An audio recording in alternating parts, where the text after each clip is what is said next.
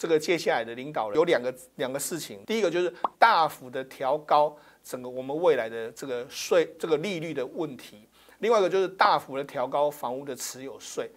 只有这两个方法才能够真正让台湾的房地产降温。大家好，我是黄世聪，欢迎收看本周的聪明理财大小事。那我们知道，其实我们在前几周的时候曾经讲过一集台湾房地产的这个问题，那结果没想到就引起回响。那当然，在上一集里面我提到，就是说台湾房地产有几个原因，包括说像我们的利率长期维持比较低水位的这个情形，还有我们的货币是个超发的状况。那今天就在为跟大家。更仔细来说明，说我上一集里面提到了一些房价的种种的诸多的因素。好，我们先来讲一下。其实我一直认为，我们台湾真正会房地产上涨的原因，是因为我们的央行的超宽松的货币政策。那为什么为什么会这样说呢？实际上，我们这个我知道，我们台湾是一个这个所谓海岛型，以进出口贸易为主的这个状况。那我们给大家一个观念，就是货币为什么要发行货币？当然就是为了经济的这个运作。那因为我们的进出口额非常大，所以要有对应的相关的货币，所以我们的货币呢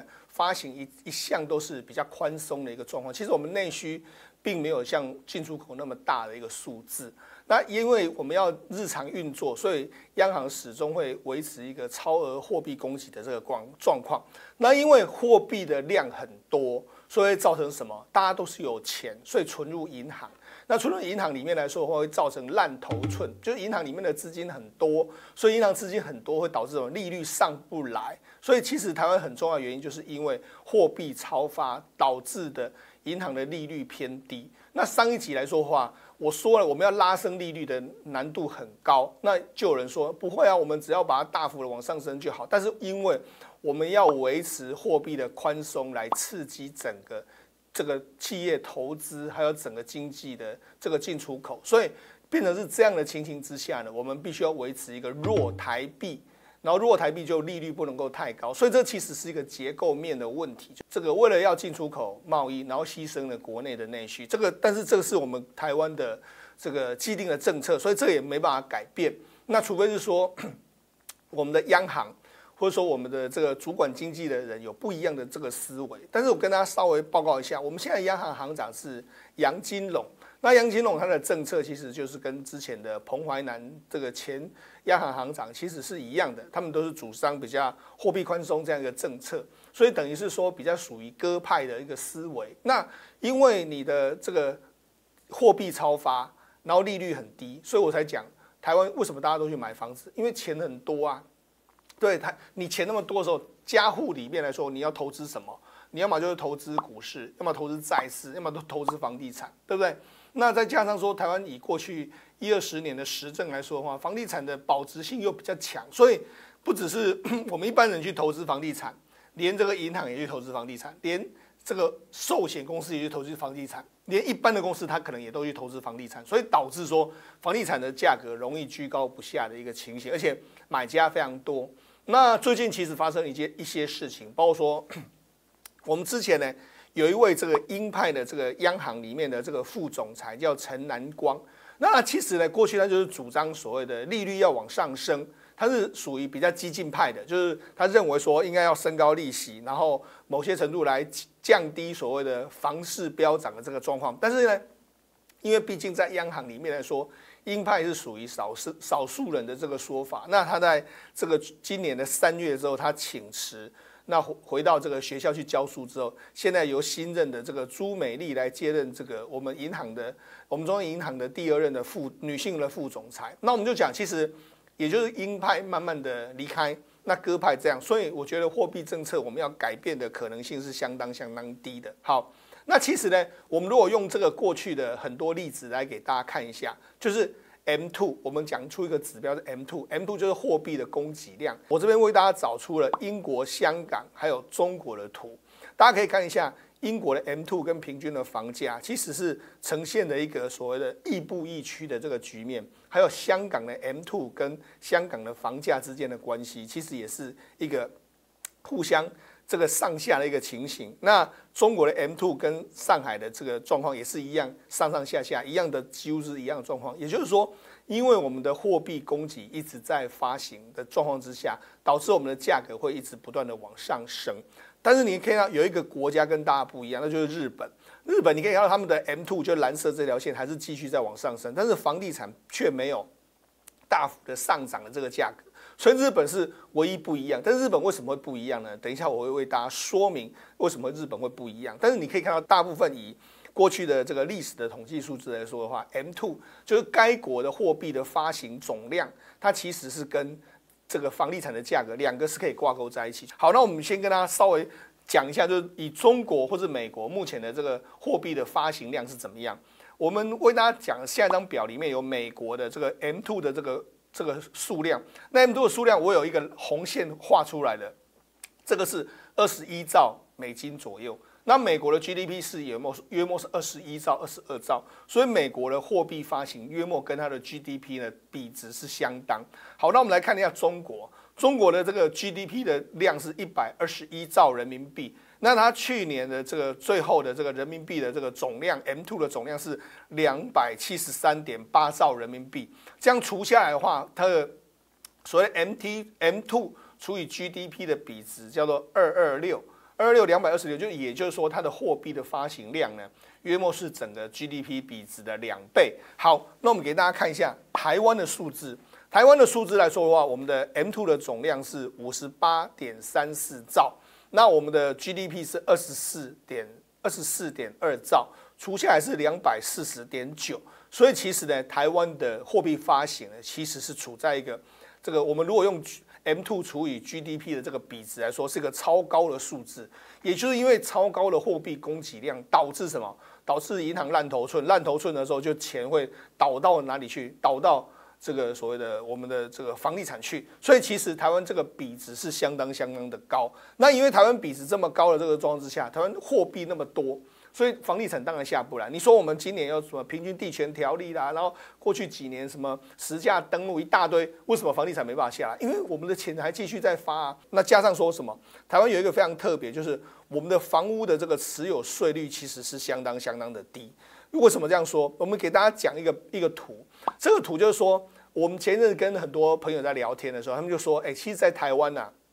养房子呢，其实最便宜，都比养车还要便宜。为什么讲？我们如果举个例子，以六十五万两千 CC 的台湾的这个国民车来说的话，它对比一个三千万的房屋来看的话，你可以讲六十五万两千 CC 的台湾的国民车，你只要缴一万一千两，你要缴一万一千两百块的税金、牌照税，那也不包括燃油税等等。好，那另外一个三千万的房屋要缴房屋税，还要缴地价税，你看加起来的话，一年才缴九千块。那再加上说，现在银行的利息很低，我持有的利息很低的状况之下，我当然对有钱人来讲，为什么有钱人会持有个三五户以上的房子？因为对他来讲，养护成本很低，持有成本很低。就像说我前一阵子到日本去带团去参访，像日本的年轻人就不太爱买房子，那为什么他们房屋的自有率只有六十几趴？为什么只有六十几趴？因为我去问他们说，啊，那你为什么不愿意买房子？他说没办法，因为我们房屋持有税率非常高。这一年在日本来说的话，你要缴的税率约莫是房子总价的零点五到零点六趴左右。那这个数字其实蛮惊人，你只要二十年的话，就要缴到房子的约莫是一成左右的这个数字哦。这个其实税率是相当相当的高的，相对于台湾。那再加上说，其实他们 年轻人普遍的。起薪比较低，所以就买不起房子，所以他们现在年轻人也就是都大部分都是租屋，那这是因为税制造成的影响，所以他们也没有人去炒房。像我们带团去看房的时候，他们就说：“哦，你们真的要买？”日本的房地产嘛，其实反而外资对日本房地产是比较看好，那日本的内资对于房地产是没那么看好。我觉得这是都有一些结构面的问题的哈。那这我刚才讲了，台湾的税持有税率超低，台湾的成本很低，这个造成然后货币又超发，这是我们房地产之所以会一直往上涨的一个非常好的沃土在这个地方。那这个要能够改变的话，就是我们可能央行的政策要改变，如果敢大幅的拉拉升利息。我之前就说，台湾的拉升利息的空间不大，主要原因就是我们的目前的决策大概就是这个样子。好，那除了从这个所谓的因为资金很多面来看的话，还有另外一个就是我们的新供给非常少。那你说没有啊？我们新供给很多啊，我们新供给不是都去年不是还盖了九千多亿的房子出来？但是我跟大家说，事实上真正好的供给呢，应该是从所谓的都更或者说所谓的都市重化重新来开始。譬如说台湾台北市，台北市的房地产来说的话，为什么一直居高不下？因为台北市的房地产的新供给额非常少，那大部分都是老房子，那老房子呢又价格下不来，又没办法再拆掉重建，因为都跟难度都非常高，所以新供给非常少。所以因为但是大大家还是要涌入台北市啊，所以只好往周边去。那周边去的时候，就会造成哎。台北市的房地产价格没有跌，那要么就是周边的房地产往上拉，就变成是为什么台湾的房地产会一直往上涨？我觉得供给一直不够多，那加上说很多房子都被人家持有，三四户持有啦，它成本很低啊，所以它不卖，不卖的话就变成是供给很少，那这个需求很强的时候，就房地产就会往上升。所以我觉得其实呢，让台湾房地产下降还有一个原因，就还有一个方法就是，其实从之前的蔡英文总统。然后到柯文哲市长都一直提到所谓加快都更，然后增加或增加这个建筑物的数量，甚至有所谓的青年住宅。只是说呢，必须讲很遗憾的就是台湾这个新供给始终一直跟不上，所以导致我们的房子非常的非常的这个价格非常的坚挺。特别是以台湾来说的话，我们台湾的拆拆房子的速度是相当相当慢。台湾的？超过五十年以上的老屋，每九间就有一间，所以你可以看可以看得到，这个不只对台湾的房地产造成一个不好的发展，甚至呢，这也都相当相当的危险。还有一个原因是因为，其实我们的台湾人呢，在投资的这个领域里面来说的话，的确，我们为大家找出一张图，就是两岸的投资的优先的顺序还有比率。那大陆来说的话，当然大概约莫有四成的人呢，他可能会去投资房地产。那台湾呢，约莫有大概三成的人会去投资房地产。紧接下来是两成会买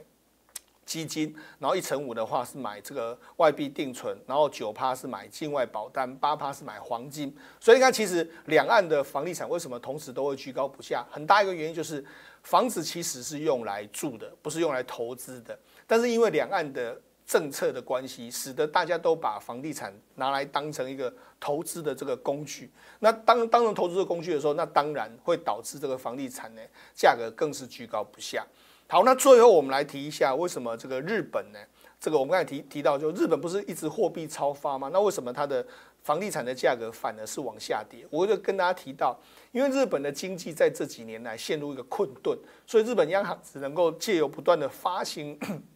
增加货币供给额，希望来刺激整个日本经济的发展，但是无奈日本的这个经济一直起不来，所以日本就陷入一个恶性循环，就是一一直不断的发行这个新的新的债券啊，然后一直不断的货币超发，所以你可以看到 M two 一直在往上升，但是呢，它的经济是迟迟迟缓的，另外一个人口是减少的，所以导致说它的房地产的价格反而往下跌。的一个情形。所以我才说，其实台湾真正房地产要能够有大幅下跌的时候，可能要等到第一个台湾的人口开始明显的减少，第二个就是说台湾的 GDP 成长率开始明显的变缓，这样的话就会可能会压制到我们整个 M two 的这个增长的幅度，再加上说整个房地产的需求或许会下降，这时候台湾的房地产才真的有可能会有回落的一刻。那除非是说，这个接下来的领导人来说，有两个两个事情，如果你能做到，或许就能让房地产比较明显的下滑。第一个就是大幅的调高整个我们未来的这个税这个利率的问题，另外一个就是大幅的调高房屋的持有税。只有这两个方法才能够真正让台湾的房地产降温。那同时之间呢，当然要增加整个房地产的供给，包括说从都更。或是从这个增加青年住宅等等着手，那当然就有助于整个房地产的景气呢。呃，不能说会价格会大幅的滑落，至少要这个回到一个就是以人住的为主的一个本质，而不是说大家都充斥着所谓的投资啦、炒房这样的心态。这样当然会让整个房地产的发展会变得相对的就比较没有那么健康的一个情绪。好，那以上就是今这个礼拜的节目。那分了两期为大家介绍一下这个台湾房地产的过去跟跟未来我的看法。那当然有机会的话，我会持续跟大家，可能就从北中南各个区域呢更加深入的看看台湾的房地产，或者说有哪些可以注意的，或者有哪些大家可以未来可以这个怎么改进的一些具体的方向。那以后的节目会再为大家持续的分享。那本周节目就到这边，我们下周见，拜拜。